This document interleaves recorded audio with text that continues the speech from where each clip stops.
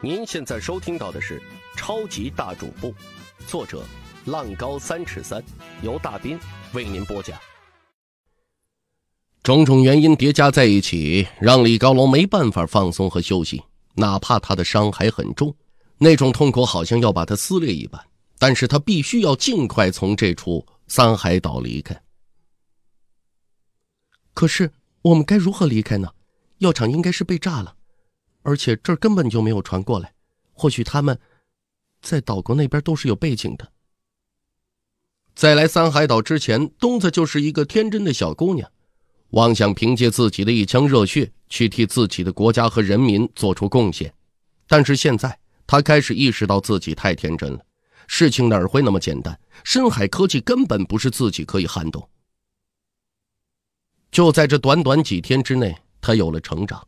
真正意义上的成长，没事天亮的时候会有一艘商船从这经过，到时候我们就可以离开了。不过李高楼紧接着就给了他一个答案，这让东子也稍微的安心了一些。虽然说他也不知道啊，说这李高楼为什么会知道明天早上会有航船从这经过，但是发生了这些事情，李高楼这个一直创造奇迹的人，实在让他没办法啊进行怀疑。你你的伤？东子重新看到了李高楼的伤势，要知道现在这李高楼啊，看上去好像刚从那死牢里边揪出来的死尸似的。尤其刚刚啊被东子把刀拔出来之后，那些伤口看上去啊更加的血淋淋的。所以东子非常担心宫本天一动手的场面，他可是清楚看到了。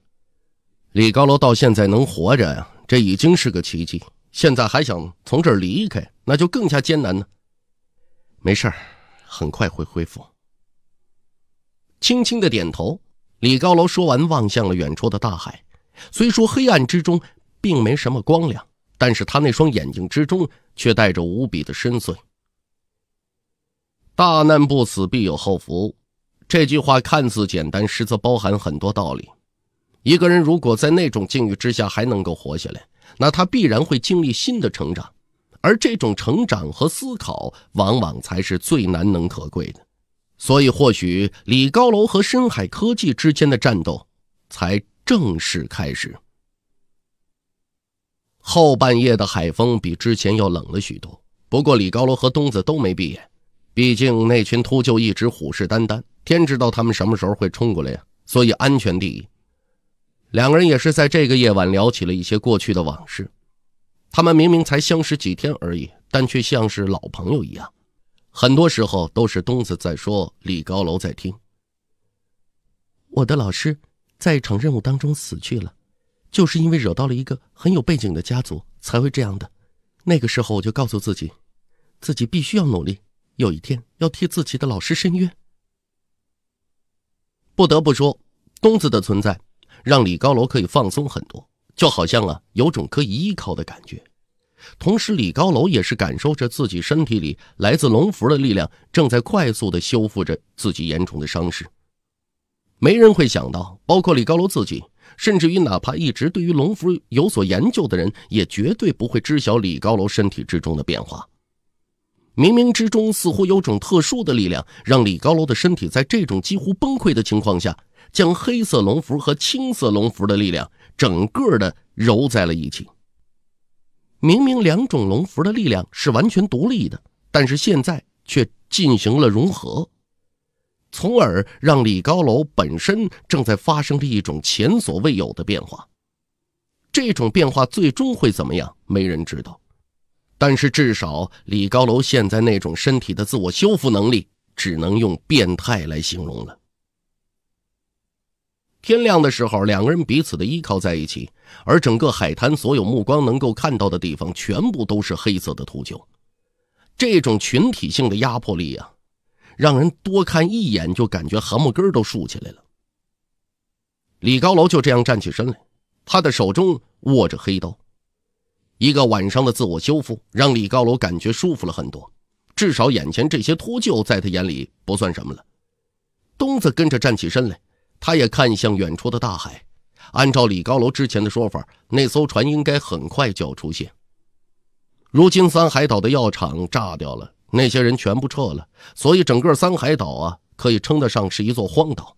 更何况过去的时候根本没有什么船只能够随便进入到这儿，那么真会有商船从这儿经过吗？就这样，时间一分一秒的过去，随着一声汽笛声响起，东子变得激动了。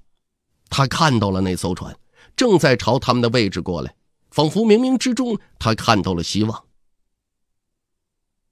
就在李高楼他们看到商船的前一天。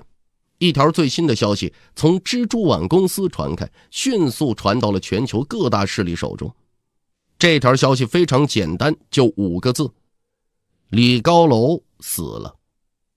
如果说这条消息是别人放出来的，那么基本呢不会有什么可信度。但是当这条消息来自于蜘蛛网公司的时候，情况完全不同了。所以李高楼应该是真的死了，不然的话，蜘蛛网公司一定不会如此。而且凭靠着这条消息，他们的收入已经超过了几千万了。要知道，几千万呢，仅仅只靠着这几个字儿得到这样的报酬，就难以想象。不过，当这个人是李高楼的时候，就顺理成章了。毕竟这小子在全球的范围之内有着多少仇家呀？整个佣兵联盟就因为李高楼的关系，都有点偃旗息鼓的意思了。那之前非洲第七基地加上大海上的第九基地，最终甚至连极北冰原那处城堡都全部因为李高楼毁了。这种事在李高楼出现之前呢，大概你跟人说人都不会相信，太过匪夷所思啊！只靠着一个人的力量做出了这么多的事情，全球无数的人都想杀了李高楼，甚至做梦的时候都在琢磨着如何能够让这小子下地狱，但是太难了。不管面临什么样的麻烦，似乎啊，他都可以面对，可以战胜，而且一天比一天活得滋润。于是有很多人就想花钱弄死他。正是因为诸多这样的因素，所以蜘蛛网公司的这条消息才可以如此值钱。华夏这边，李老蒙得到消息，脸色大变呢。第一时间，他试图联系李高楼，然而完全没办法接通。随后，李老蒙接通了田小花的电话。毕竟李高楼跟田小花一起去的岛国呀，所以这个时候他出了事的话，田小花应该知道。电话刚接通，李老蒙迫不及待的就问：“李高楼在什么地方？你们有没有联系？”现在的情况十万火急呀，他也没办法多耽搁时间。没有联系啊，他电话打不通，已经三天了。他之前去了三海岛，一直没回来。田小花这边一直也在寻找李高楼。但是他可没接到说李高楼死了的消息，他焦急的原因只是因为李高楼告诉他三天之内会回来，因为竞标马上开始了。但是李高楼到现在无个踪影，让他非常慌。要知道这次来岛国竞标，田小花最大的倚仗就是李高楼啊，尤其经历了之前那次长岛先生的闹剧之后，可是现在李高楼没了影子，这是大事了。得到田小花的回答之后，李老蒙沉默了。他这冷不丁的一沉默，田小花这边也愣了愣，心头突然就有种不太妙的感觉。竞标的事情量力而行，安全第一。李老蒙就说了这么一句，准备就挂电话。田小花马上追问：“李高楼是不是出事了？”他从李老蒙语气当中已然听出一些不对了。李老蒙又沉默了，告诉我他是不是出了什么状况？田小花却不打算放弃。这回李老蒙也有些无奈。之前从蜘蛛网公司刚接到消息，李高楼死了，不过消息还没证实，我们正在想办法。这一刻的李老蒙声音非常低沉，他的感情也非常复杂呀。他跟李高楼之间的关系可没那么简单，如果不是李高楼的话，李老蒙就已经死在非洲了。所以两个人之间的感情啊很不错，但是他接到这样的消息，让他也无法接受啊。但是，作为自己这个职位上的责任，他必须用最恰当的手段和办法去做。否则的话，如果自己现在啊跑到岛国，反而不太合适。田小花这边闻听，整个就呆了。他当然知道蜘蛛网公司是个什么样的组织，那这样一个组织散布出来的消息，一定有着非常充分的证据来源。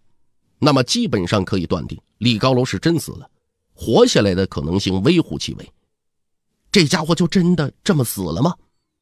没人可以轻松接受这条消息，尤其是田小花他们一直都在等待着李高楼回来。这才几天的时间，就接到如此噩耗。我们会想办法证实啊。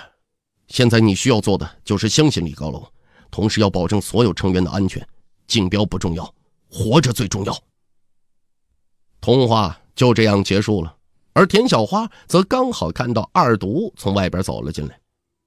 他倒是没注意到田小花的表情。二毒进来之后啊，直接拧开了桌上的一瓶饮料，然后随意的跟田小花问了一句：“哎，怎么样啊？我兄弟有消息了吗？”